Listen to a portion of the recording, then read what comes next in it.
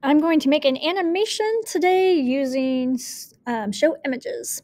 So I'm going to click new project. I'm going to call it animations 2 today. And I want my animation to show up. Um, maybe I'll do one on button A pressed and I'll do another animation on button B pressed. So I'm going to get rid of on start. I'm going to get rid of forever. I want to on button A pressed a different kind of animation. I'm going to go down here to advanced if you don't see anything below it, click where it says advanced, and then you're scrolling down to images. You need two code blocks. You need scroll image, my image, snap that in there. And then to get a scrolling picture, you're going to create a big image, this nice big purple one here. So I'm going to snap that in where it says my image and it gets bigger.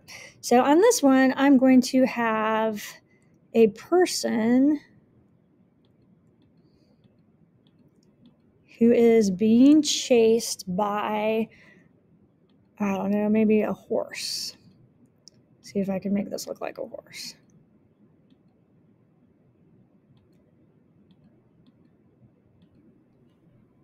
Um, maybe that. All right, that's horseish.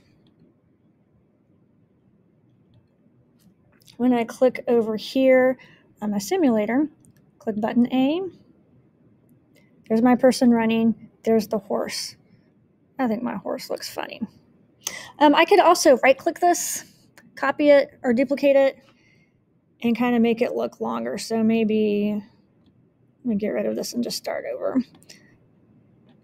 Maybe this image down here will be like the horse's tail. And then maybe the horse is being chased by, I don't know what this will be. Hmm, what's it look like?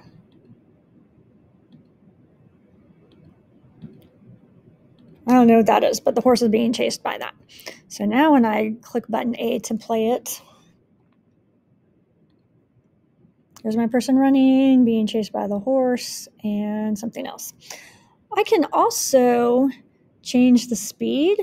If I make this pause smaller, it will change the speed. Or if I make this interval bigger, it will change the speed. You can play around with that and figure out what happens if you make this interval bigger or smaller.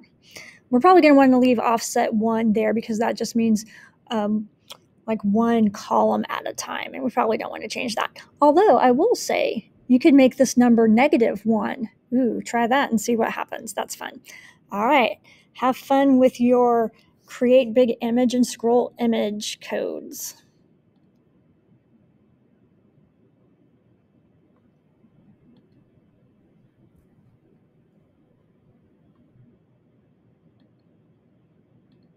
Are we stopping?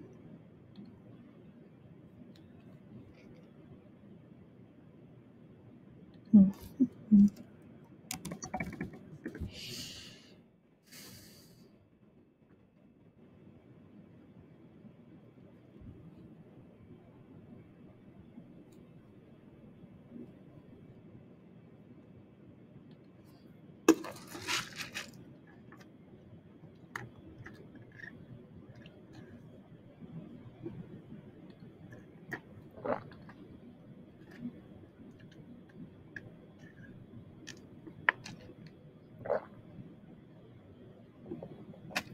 Então, me conta.